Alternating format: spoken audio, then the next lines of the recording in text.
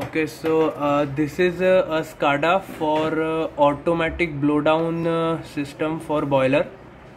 So here uh, we have the option to turn on the boiler. Now when I turn on the boiler, the water level will rise and uh, it will also decrease. It will rise because the pump is on, but it will decrease because the boiler is on so you can see that this is normal operation is going on here. Now as the boiler runs the TDS increases. And uh, to uh, take care of this problem we have uh, manual blowdown and uh, automatic blowdown both.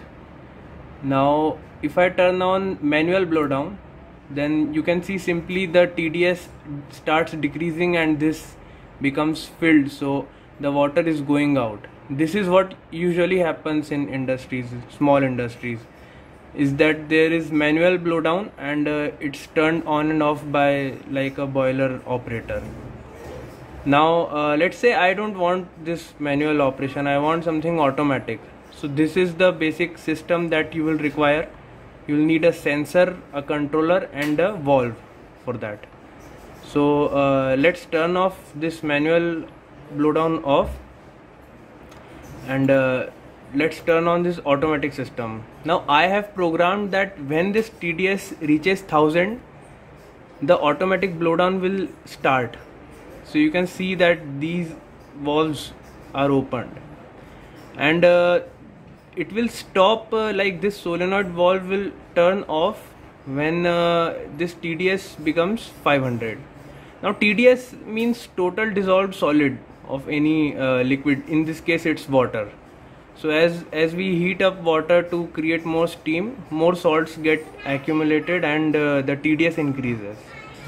So now as you can see it uh, like when it turned 500 the system turned off TDS increased. Now the TDS is increasing and you can see that as it uh, became 1000 this has again turned on so this is the operation uh, and uh, it has been all scripted in uh, uh wonderware uh, InTouch so I can share the script if required. And the script uh, according to the script this system will keep running as it is. Like if I now if I turn all the blowdown systems off then the TDS will simply keep on increasing. One may also simply ask that what if we turn off both blowdown systems? Then nothing will happen. Like this boiler will keep on operating but the TDS of the water will keep increasing.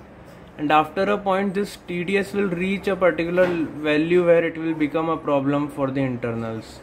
So we need this automatic or any type of blowdown so thank you